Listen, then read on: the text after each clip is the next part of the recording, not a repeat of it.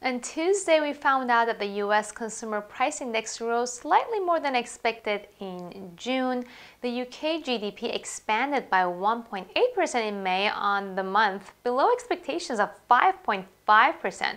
Industrial production up by 12.4% in euro area and 11.4% in the EU.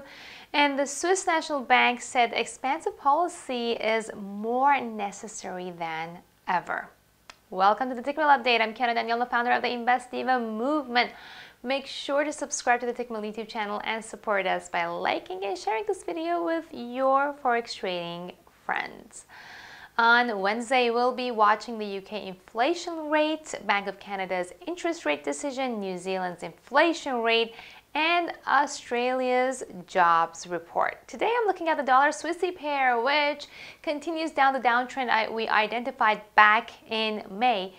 As it's reaching the lower band of the long-term range, the pair normally moves within at 0.9256. We'll continue to eye this support level once it's reached to determine the next direction for the pair.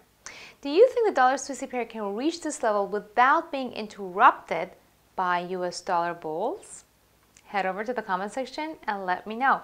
Of course, trading in the financial markets involves a risk of loss and you should only trade the money that you can afford to lose. If you like this video, give it a thumbs up and subscribe to the Tickmill YouTube channel. I'll get back to you with more updates tomorrow.